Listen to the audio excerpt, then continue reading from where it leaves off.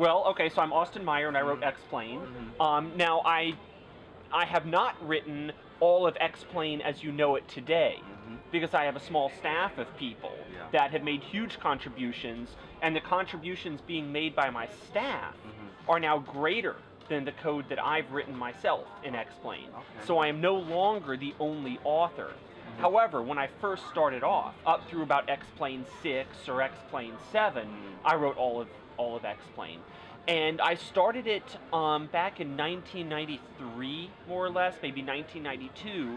because I just was not completely happy with Microsoft Flight Simulator. Okay. Um, since I wasn't happy with Microsoft Flight Simulator, and I knew that Microsoft would not change their simulator just Mm. because I wanted them to, yeah. I decided to go on ahead and start writing my own simulator. Okay. And um, as I was writing it for my own use, only for my own private use, I soon began to see that it was a pretty good simulator that other people might be able to enjoy. And then right around 1995, maybe 1996, I started selling it. Um, and other people, from that point on, other people began to see that it is possible to have another Mm. flight simulation product than Microsoft. Yeah.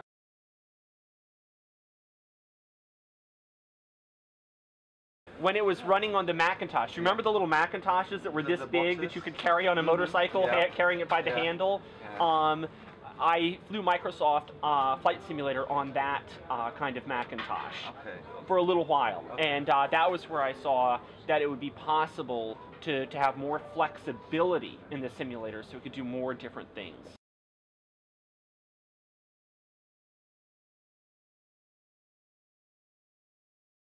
Yeah, got about, oh, I don't know, 2,000, maybe 3,000 hours. Okay. And living in the United States, uh, flying light airplanes is a little bit more common than in Mm. Europe. Yeah. A larger percentage of the population can do it.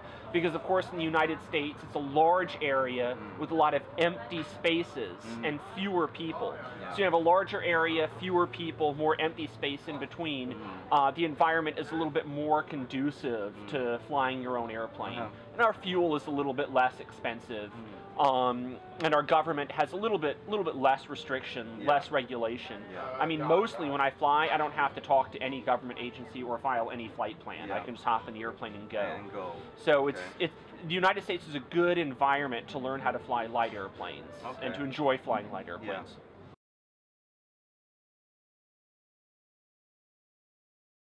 Well, it, I'm in the middle of a transition right now. Mm. My current airplane that I fly is called a Columbia 400. Yeah. Single engine, propeller, Mhm. made out of uh, fiberglass, mostly Okay. composite materials, 310 horsepower, Okay. certified by the Federal Aviation Administration to be safe and easy to fly. Mhm. So the Columbia 400 was basically designed by a company of people, uh, a boardroom full of executives, approved by investors, and ultimately approved by the government to be safe, uh, affordable, and a good airplane to fly. Okay. That's what I currently fly, and it has become incredibly boring. Okay. because it's only 310 horsepower. It's less power than most cars, most sports cars these days, anyway. Uh, well, And- maybe in the United, not in. Yeah, not okay, in the United States. Not Yeah, in the United Okay. States.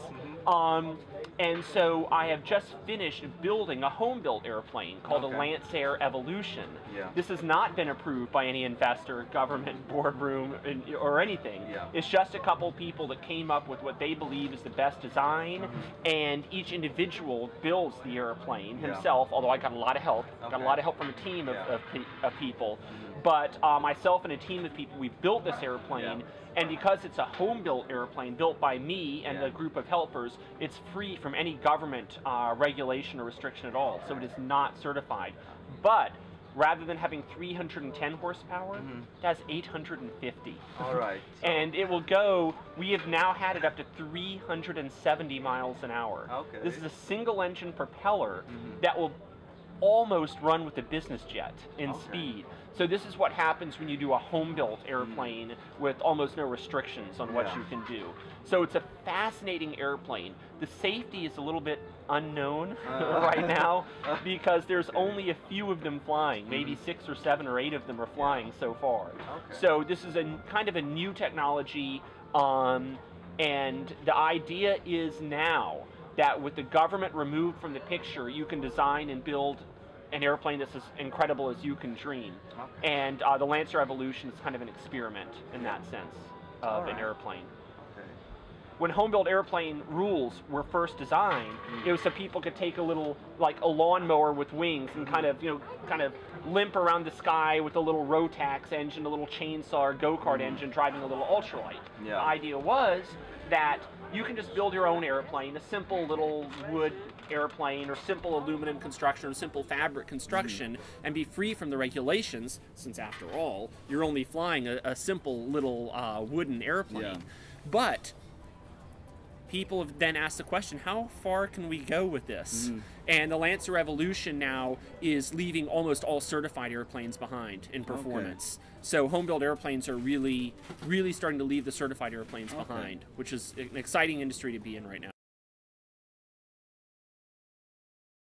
Well, okay. So first of all, let me start with the most basic point I can make, mm-hmm. which is that in the simulator, it is only fun and useful mm. for me to fly in the simulator mm. if the simulator flies like the real airplane. Mm-hmm. And that for me is kind of a starting point for all discussions in flight simulation. Yeah. If the flight simulator is fun and useful to me, the simulator must fly like the real airplane.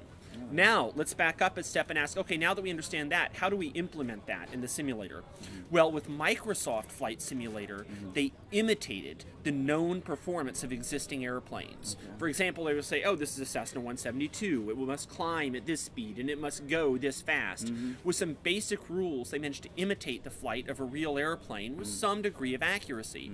But whenever you get into unusual situations, stalls, spins, touching down on the runway sideways, touching down on the runway, hitting a wingtip first, um, having the engine fail or a propeller blade come off. Um, when you get into all the unusual things that can really happen in flying, the imitation flight model just doesn't work that well Yeah. because the imitation didn't foresee all of these unusual things that could happen in the real world. Yeah. So what X-Plane does is something that is completely different. When you design an aircraft in X-Plane, you mm-hmm. do not tell X-Plane how the airplane is supposed to fly. Mm-hmm. You only enter the shape of the airplane, the geometry, the engine horsepower, the mm-hmm. weight, Yeah. the things that define the, the physical existence of the airplane. X-Plane will then interact that model with the air mm. to predict how the airplane will actually fly. And it does this by breaking the airplane down into many little pieces or elements and finding the forces on each of those elements, then adding up all those forces to get the total forces and rotational moments on the airplane. Yeah. So it's much more of an engineering approach that predicts how an airplane will fly. Okay. And this is interesting for a few reasons. One, anybody that has a design for what they think would be the perfect airplane, Mm-hmm. they can put it into X-Plane and find out. They can try. Yeah. Two, you really learn something every time you fly X-Plane. Mm-hmm. Because it's showing you what it thinks a real airplane will do, not just what you just told it. Okay. Um, and three, when you get into the unusual scenarios, for example, an engine failure in a twin engine airplane, or a control system not working, the failure of an aileron or an elevator, a control system on the airplane, um, the physics are still just as accurate. And so you get to see what the airplane will really do if one of the ailerons quits working, or one of the engines quits working, Yeah. or an elevator separates. The physics remain just as accurate in that case mm-hmm. as they are in flying a real life. perfectly functioning airplane. And so you get a response to failures in the airplane that is completely, hopefully, realistic. Mm-hmm. Unlike where you might just be imitating, you, for example, if you were doing Microsoft Flight Sim, you might, you might say, "Oh, well, if one engine fails, we'll reduce the climb rate by a Yeah. certain amount." Well, the amount the climb rate is going to reduce is going to depend on how the airplane is flown, Yeah. and the weight, and the temperature, and you know the altitude. Um, for example, in a twin engine airplane, let's look at something like, say, a Beech Baron. Two yeah. propellers. Yes. Okay, you have two wings, two engines, and the propellers are both spinning and they're blowing air over the wing. Yeah. Also, they are blowing air over the horizontal stabilizer. Yeah. Let's say this engine fails, mm-hmm. okay? What many people will say is, oh, now you have half the thrust. Mm-hmm. Well, it's more complicated than that, isn't it? Yeah. Because all of your thrust is coming from this side. This wants to twist you over to the right. Not only that, but this propeller is now absorbing energy from the airflow. Mm-hmm. It's not putting energy into the airflow, it's pulling energy out of the air. In other words, the air as it comes up to the propeller is being slowed down Yeah. by the windmilling propeller. What does this mean?